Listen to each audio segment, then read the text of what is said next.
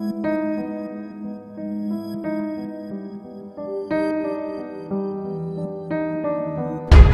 ज्ञानवाबी मस्जिद मामले में एक बड़ा मोड़ आ गया है। आज हिंदू पक्ष की सुनवाई करते हुए जो पूजा का अधिकार मांगा गया था, उसको लेकर अब सुनवाई 8 जुलाई को होगी। क्योंकि जून में कोर्ट बंद रहता है तो इसलिए ये सुनवाई अब 8 जुलाई को होगी और इसी बीच एक बड़ी खबर सामने आई है।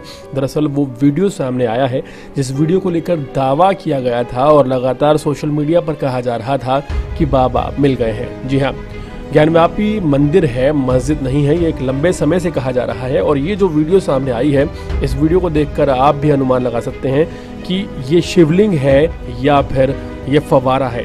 दरअसल जिसे फवारा कहा जा रहा था, वो 101 परसेंट शिवलिंग है और इस बात के पुख्ता सबूत मिले हैं।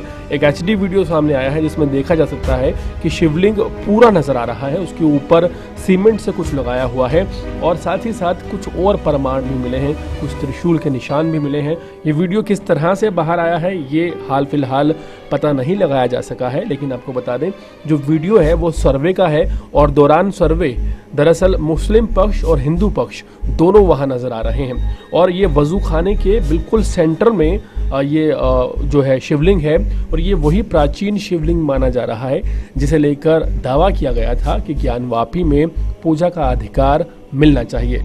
इसी बीच जो जंग छिड़ी हुई है, वो वॉकशिप एड को लेकर छिड़ी हुई है और साथ ही साथ ये भी कहा जा रहा है कि चूँकि अब वज़ू खाना में शिवलिंग मिल चुका है, जो शिवलिंग हज़ारों साल पुराना हो सकता है और इसका एक पुराना इतिहास हो सकता है तो अब हिंदू समुदाय को यहाँ पूजा करने की एक इजाज़त मिलनी चाहिए, जिसके लिए लगातार याचिकाएँ डाली जा रही हैं। हाल फ़िलहाल कुछ नई तस्वीरें सामने आई हैं, कुछ नए तथ्य सामने आए हैं और ये जो तस्वीरें हैं, इनमें त्रिशूल के मार्क मिले हैं, इनमें शिवलिंग की क्लियर पिक्चर मिली है और एक्चुअल में अस्तित्व जैसा होता है एक शिवलिंग का, वो नज़र आ रहा है। आपको बता दें, पूरे मामले में जिसे फवारा कहा जा रहा है, उसे लेकर पहले ही ये साफ़ किया जा चुका है कि फवारे जैसी वहाँ कोई चीज़ नहीं है।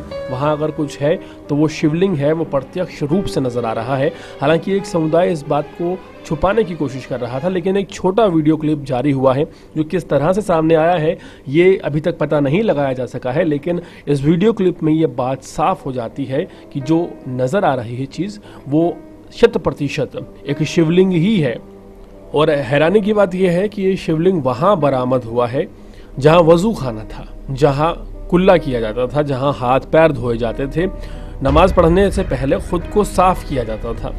तो ये शिवलिंग जो है, ये दरअसल एक लंबे समय से एक तरह से आप ये कह सकते हैं कि प्रताड़ना झेल रहा था और इस शिवलिंग को अब आज़ाद कराने का समय आ चुका है। हिंदू पक्ष ने यह साफ़ कहा है और इस मामले की सुनवाई अब 8 जुलाई को होगी, इससे पहले 6 जुलाई को एक और सुनवाई होगी। 8 जुलाई को यहाँ पर पूजा करने के अधिकार के ऊपर सुनवाई की जाएगी।